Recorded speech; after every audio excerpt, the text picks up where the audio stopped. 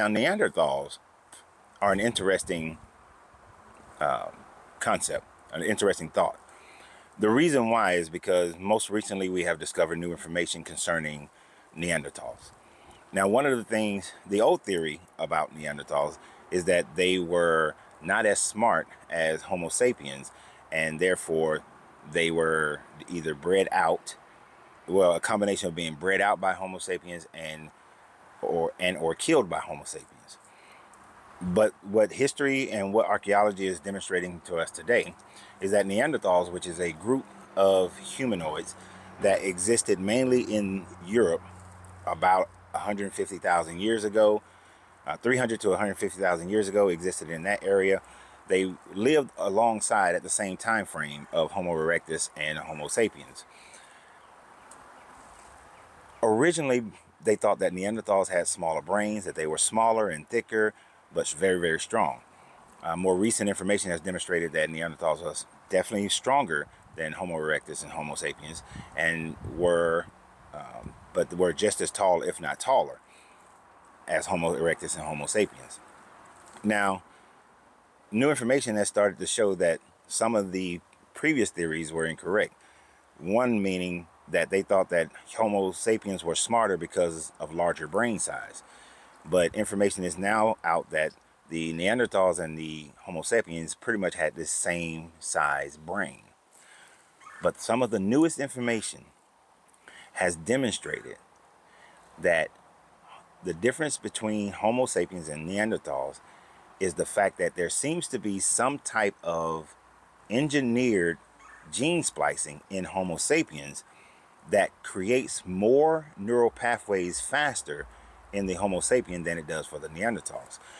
Uh, one of the, and this may be partially of what explains why about 12,000 to 9,000 years ago, Homo sapiens began to have these great leaps in technology.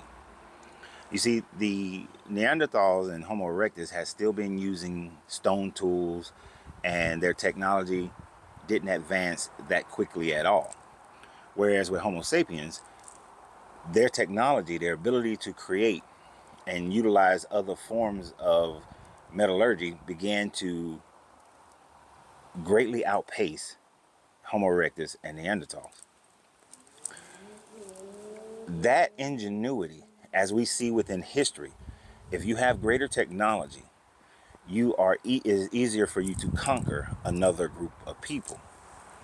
And so the working theory now that is accepted by most archaeologists in that field of study suggests that the Homo sapiens ability to create better tools, better weapons, uh, enabled them to conquer, but also there were some interbreeding, but for the most part conquered the Neanderthals, and that's why the Neanderthals went extinct, and Homo sapiens um, became the dominant um, form of man on the planet.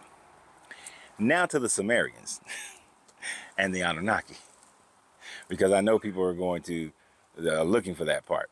According to the Anunnaki story, the Sumerian story, uh, the Anunnaki were had developed a version of man that would made for a good slave, uh, but that version of man was still lacking, wasn't able to revolt, things of that nature. But about 30,000 years ago,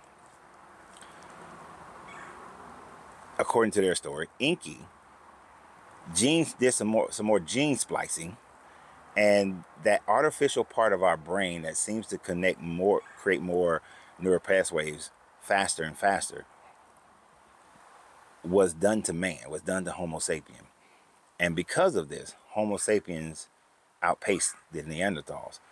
But according to the Sumerian story, the, the Anunnaki are the ones who did the gene therapy on man. Now, after a while, the Anunnaki lost control of man, which is why they allowed for the flooding to destroy man in their story of Gilgamesh. Now, it is believed or thought of by most historians that even the Gilgamesh story is talking about a flood that happened long before the Sumerians and that they're just retelling it. It didn't happen in their time frame. Because when we look at the Sumerians, we're looking at about 5,000 to 7,000 BCE. Whereas when we're looking at the Younger Dryas flood, that happened around 9,000 to 12,000 BCE. So even for them, they're talking about an ancient story that has been passed down and passed down. But as far as that was a big bumblebee. Um, but as far as the Neanderthals, they were physically more capable than Homo sapiens, but they were mentally lacking in their ability to engineer and create, and hence that created their destruction. Which the lesson we can learn from that is that if we allow ourselves to not engineer and create, then we will fall victim to those who are able to engineer and create. We can see this in our own history.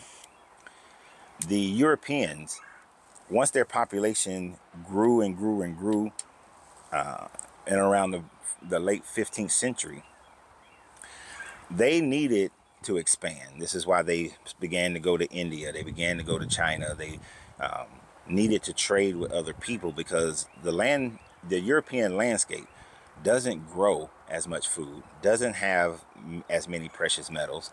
But when you're living in the Americas, you're living in the in Africa, you're living in India, you're living in um, Southern Asia, you don't have a need to expand. You don't have a need to conquer. The land is providing enough for all the people, so innovation becomes slowed down.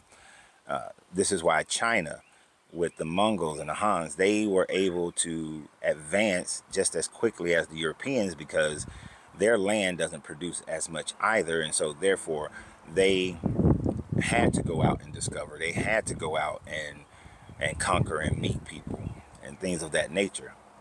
So just because you have a good thing doesn't mean you should stay steadfast in your good thing. Uh, we all have that ability. People, we see that today in our economies. People who are not seeking to advance themselves are the ones who seem to get left behind or get caught with their pants down when an entire industry goes away. Imagine if you were taught as a woman to go and be a typist uh, in the 50s by the time the 70s come around, your industry is gone, you know, or practically gone. And by the time the 80s and 90s come around, your industry is gone. So we have to keep advancing. And this was the difference between the Homo sapien and the Neanderthals. They did not have the mental ability to be able to advance consistently, continuously, like the Homo sapiens. And according to the Sumerians, it was Enki's doing that allowed for us to become what we are today because Enki, out of all the other Anunnaki, the royal bloodline, was the only one who cared enough about man to ensure that man would continue to be able to thrive on this planet. Beyond that, I don't know much else about the Neanderthals. Um, there are many speculations about them going into sub-Saharan Africa at some point and um, eating you know, conquering them for food uh, and for mating. But those are just theories. We don't necessarily have um, anything, any hard facts on that one yet. But we do know that Homo sapiens did go up into Europe and began to conquer and conquer the Neanderthals. So we do have information on that. And it is very possible that by following food that the Neanderthals did come into Southern Africa. But this is why it, you'll find more Europeans have Neanderthal uh, genes than any other group of people around the planet. So I hope that answers your question.